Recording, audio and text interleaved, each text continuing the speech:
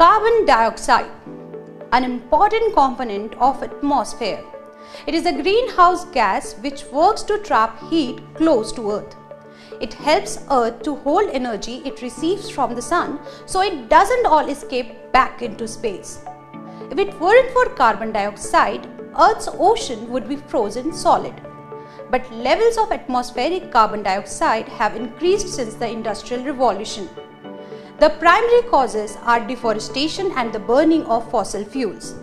As carbon dioxide levels have risen, so have its effects on air pollution. It has also resulted in melting of glacier ice and ultimately climate change. But here is a good news.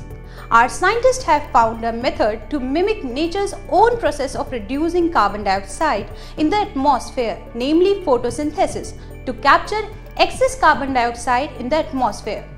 This artificial photosynthesis harnesses solar energy and converts the captured carbon dioxide to carbon monoxide, which can be used as a fuel for internal combustion engines.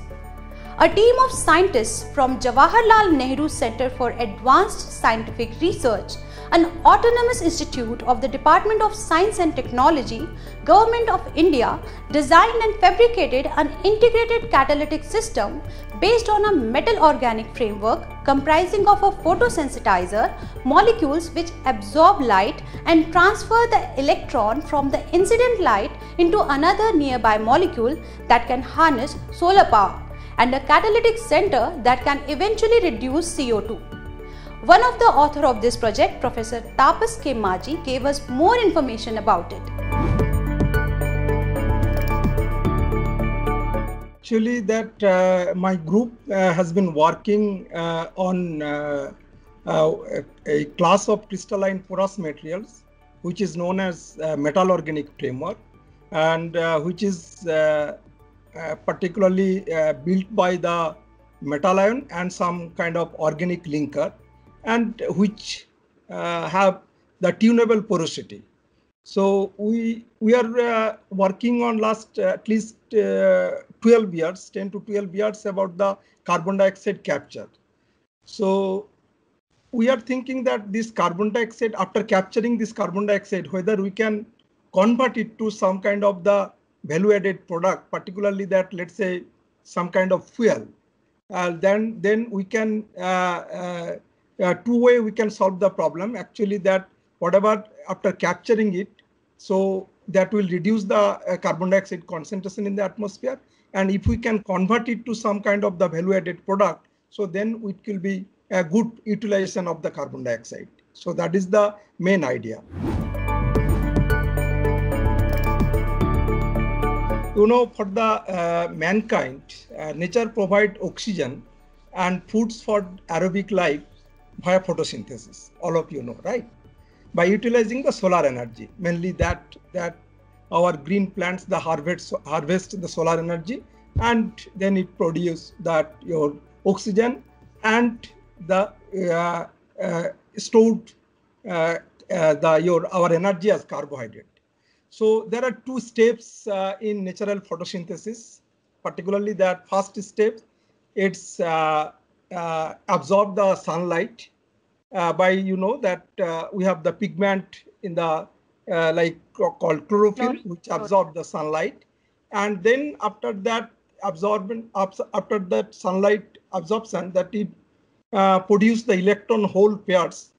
And then corresponding it's uh, by that process it oxidizes the water in photosystem 2 and to get the oxygen and in, the, in this process, uh, there is a release of protons and the electrons, which transport via cytochrome to photosystem 1, and we call that PS1, and are finally consumed CO2 uh, by reduction to produce the carbohydrate.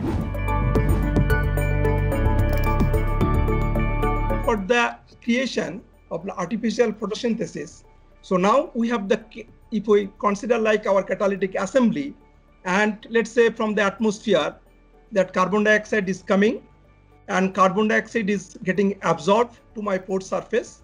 And then we have the light absorbing unit and the catalytic assembly. So now when light is coming and we have the light, uh, the photosensitizer, which we can, the light absorbing units. So this, after falling the light, it can get that create electron and hole. So this, that is the H plus and this electron. So this H plus, the hole, and this electron can transfer to that your catalytic centers. And this can, when your carbon dioxide is coming to binds to the catalytic center, and this can give you produce the carbon monoxide or some other product. Okay. For when you have the water, so this hole it will be used for the oxidation of water to pro produce oxygen.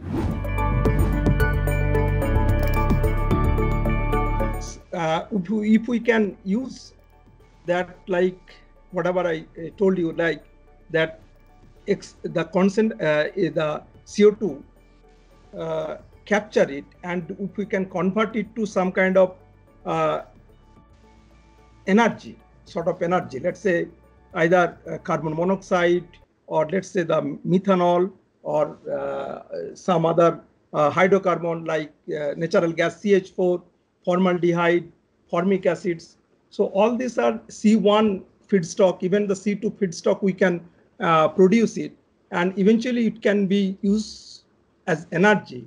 So that will significantly help, particularly uh, that to reduce the CO2 concentration and also it will help to get uh, the, uh, the, energy, which is also that the fossil fuel based energy can be, uh, we can overcome in the future. Scientists believe this intricate design and synthetic approach will pave the way to develop new integrated catalytic systems for capturing CO2. This is India's major lead towards achieving the Paris Climate Agreement goals, which will help in improving the current situation. We'll be back with more information. Thanks for watching.